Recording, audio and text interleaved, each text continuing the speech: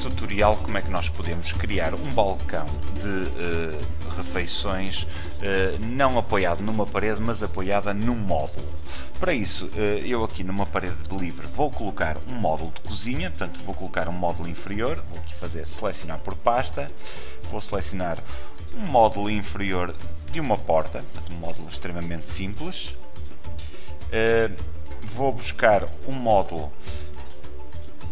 com 60 cm de largura. Uh, Vou-lhe reduzir a profundidade, não faz sentido ser tão largo. Uh, vou manter a altura que ele tinha originalmente.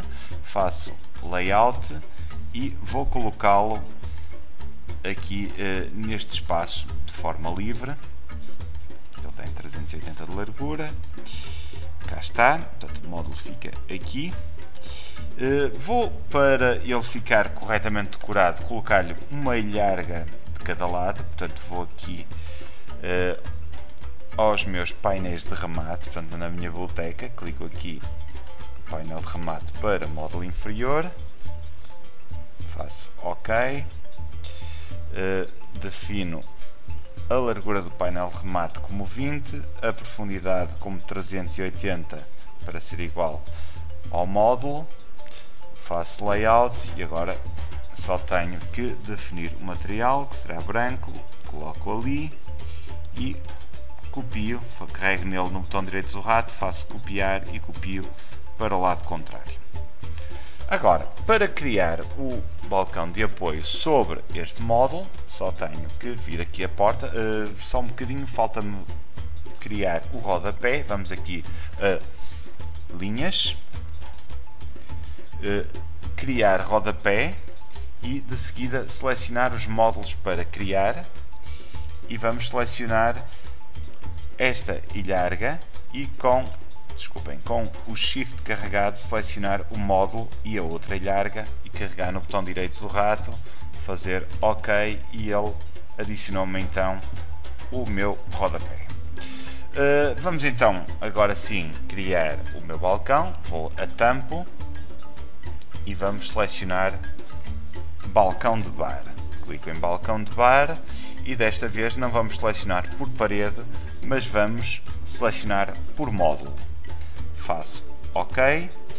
Agora só tenho que selecionar o módulo onde eu quero adicionar o meu balcão, que é este que aqui está, e imediatamente me aparece aqui um esquema onde me aparece o meu módulo representado amarelo e o meu balcão com uma linha aciana.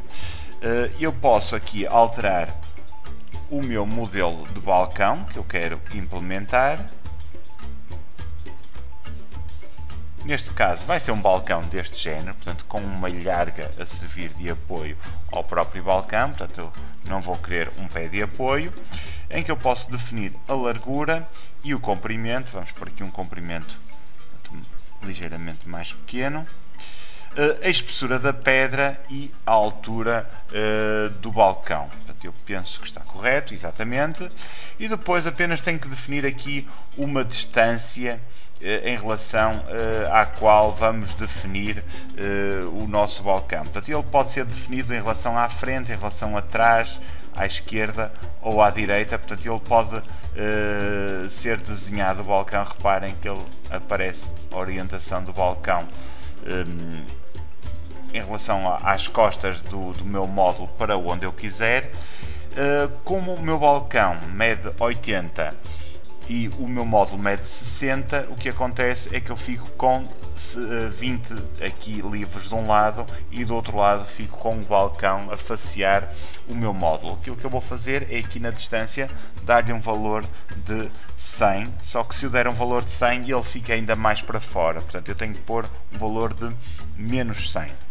Depois só tenho que decidir se vou colocar um mata juntas ou não, portanto eu neste caso não vou colocar, e agora clicar em OK e definir o material que eu vou colocar no meu tampo.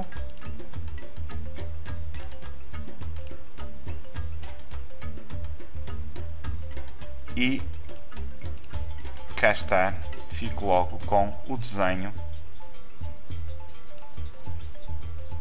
do meu balcão imediatamente a seguir.